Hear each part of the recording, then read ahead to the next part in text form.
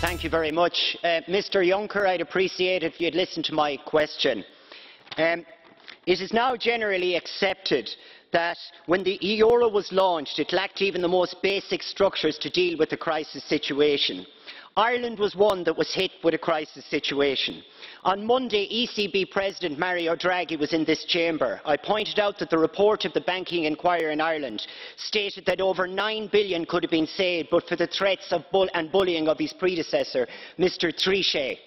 The nine billion is gone, but there's an even greater injustice happening in Ireland just now. In 2009 and 2010, in the absence of any official structures to deal with troubled banks, the ECB, the Central Bank of Ireland and the then Irish Government colluded to create 31 billion to bail out the failed creditors of two insolvent European banks.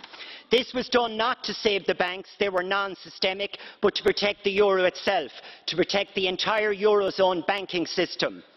It worked, but now the ECB insists that the entire eur thirty one billion must be taken out of circulation by our central bank.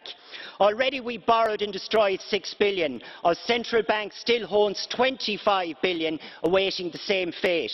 On Monday in this chamber I asked Mr Draghi if he would work with us, the Irish MEPs, to help end this obscenity. I got no reply, Mr Juncker. Today I ask you, will you work with us to help end this obscenity?